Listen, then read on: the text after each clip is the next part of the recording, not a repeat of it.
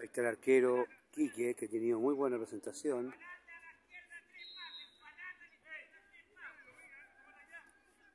Hay tiro libre pendiente. Y va Coto Evans para pegarle de allí. Coto Evans.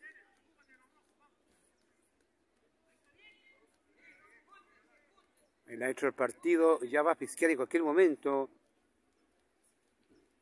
Viene Evans.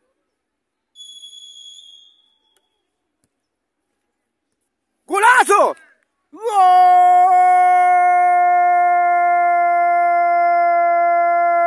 Porque solo él creía en él. Porque solo él de la cofradía vino. De la San Cristóbal. Y aparece el Coto Evans para meterla adentro.